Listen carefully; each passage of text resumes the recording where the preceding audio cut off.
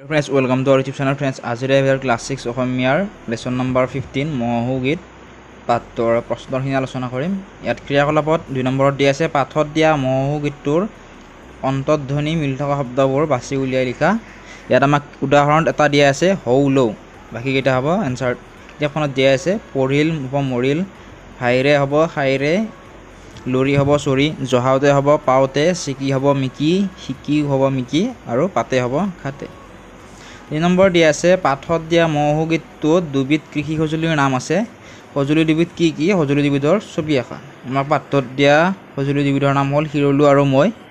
এই ছবিকেইটা তোমালোকে নিজে আঁকিবা। চাৰি নম্বৰ দিয়া আছে উত্তৰ দিয়া। ক নম্বৰ দিয়া আছে মহ মাৰিবলৈ চেমনীয়াহঁতে হাতে হাতে কি লৈছে? এনচাৰত হ'ব মহ মাৰিবলৈ চেমনীয়াহঁতে হাতে হাতে টাঙোন লৈছে। ক নম্বৰ দি আছে সিডাল গছত গা ঘঁহাওঁতে কি হ'ল? ইয়াৰ এনচাৰটো হ'ব সিডাল গছ বাগৰি পৰিল আৰু সকলোবোৰ মহ মৰিল।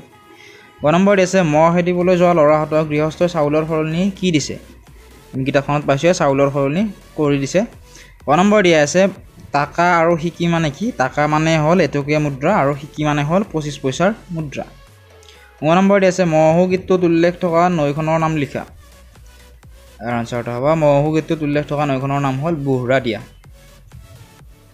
তাৰপিছত আঠ নম্বৰ দিছে পাঠত দিয়া মহো গীতটোৰ পৰা তলত দিয়া শব্দবোৰৰ মান্য অসমীয়া ৰূপবোৰ লিখা। প্ৰথমটো দিছে টকান হ'ব টাঙোন গাছত হ'ব গছত দিলাক মানে হ'ব দিলে মাক মানে হ'ব মাকক মাৰিৰবা মানে হ'ব মাৰিৰবা মানে হ'ব মাৰিবলৈ।